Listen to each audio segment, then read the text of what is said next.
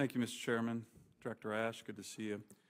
I, uh, I have so many questions for you that I could, I could spend the next three days asking you questions. So we're going to submit a number for the record, and um, if you can try to answer these succinctly, uh, that'd be helpful, so we can get through at least a couple in the five minutes that I have. Um, First, I I just want to talk uh, about the Alaska National Interest Lands Conservation Act. Are you, are you familiar with ANILCA? I am. Great. Um, There's a lot of Alaskans who, who actually don't think your agency is that familiar with ANILCA because uh, there's a strong sense in my state that your agency continually violates that important act. And to Senator Whitehouse's comments, I'll tell you this, today's action, today's hearing, but more your actions would bring great dismay to one of Alaska's great predecessors in the U.S. Senate, Ted Stevens, who crafted ANILCA, knew it was a finely crafted balance, and yet it's being ignored by your agency, um, I think, on a daily basis. Let me give you the latest example. The president's recent announcements on, the 1002 area of ANWR. As you know, the coastal area of ANWR, the 1002 area of ANWR, very important place, laid out in ANILCA, whole chapters on it in ANILCA, and critical that the federal government was tasked with either looking at developing it for oil and gas, looking at the resources there, recommendations to Congress, or perhaps someday making it a wilderness. But do you think that there's any other branch of government in the federal government that has the power to either develop uh, the 1002 area for oil and gas or make it a wilderness besides this body, Congress?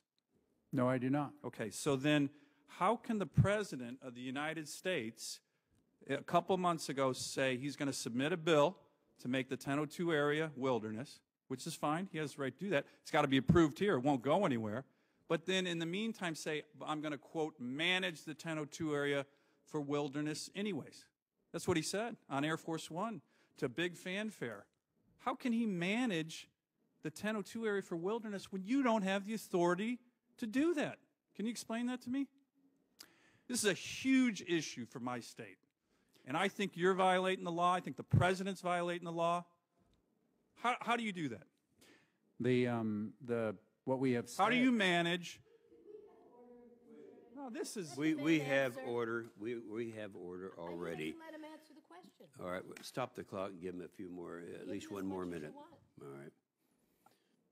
how do you manage the 1002 area for wilderness when you don't have the authority We, to designate wilderness the 1002 area? Go read ANILCA. There's not a lawyer in this town who thinks your agency has this authority.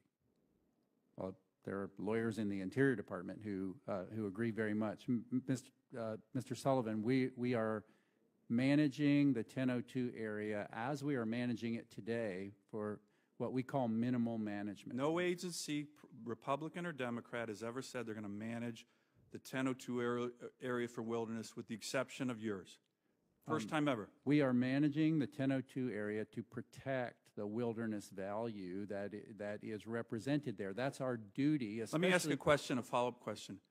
If there's a president in 2017, he's a Republican, he submits legislation to uh, develop the 1002 area for oil and gas development. It doesn't go anywhere, it's a tough issue.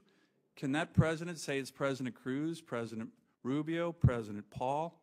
Can that president say, I'm now going to, quote, manage the 1002 area for oil and gas development? The, um, we have produced a comprehensive conservation plan. No, no, just can you answer that question? The president would have, we would have to change our conservation plan. We have, we have gone through the lawful administrative process of developing a comprehensive plan Not if you're designating 1002 as wilderness without congressional approval. We have a comprehensive conservation plan for the management of the refuge, which has been developed through a public process. Can a president in 2017 manage the 1002 area for oil and gas, even through a comprehensive management plan? No. Can a president now manage 1002 area for wilderness? The president The answer not- has to be no, if you said no to the other Sir, question. The president is not managing. He said he was going to manage, the The president president- said he was going to manage the 1002 area for wilderness. The president He doesn't have the authority to do that. The United States Fish and Wildlife Service is managing the Arctic National Wildlife Refuge. No, the 1002 area is different. Look at No. ANILCA. The 1002 area is part of the Arctic National Wildlife Refuge. The law, it makes no distinction um, between the 1002 area and the It remainder makes a huge distinction. There's an entire chapter called the 1002 chapter in ANILCA. That's Which- why it's called the 1002 area. which There's a gigantic distinction. The 1002 Director Ashe, I think that your agency has been violating the law. I have so many other questions, Mr. Chairman. Uh, we'll submit them for the record, but um, this is incredibly disturbing. And a whole host of different ANILCA sections. I'm going to ask one more question, Mr. Chairman, if I may. Yeah, Senator Sullivan, you have another good minute because you were interrupted. Please go ahead. So in Alaska, there's a provision, what we believe is the quote, no more provision of ANILCA. Do you believe that that exists? You, It does exist. okay, and so the no more clause says there should be, that ANILCA, according to Ted Stevens and others, was a finely balanced designation. We have almost 60 million acres of wilderness. We have state parks that are bigger than Rhode Island, individual state parks. We have a lot of wilderness. We love our wilderness, but we don't think there should be any more, and neither did the Congress. Do you think that there can be any more wilderness, managed, designated, or otherwise, without the express permission of this body? The, um, there can be no designated wilderness without uh, the, uh, without uh, congressional action.